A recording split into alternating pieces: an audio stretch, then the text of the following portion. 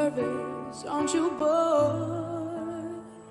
The quiet voice and impeccable style. Already got chills. Don't ever let them steal your choice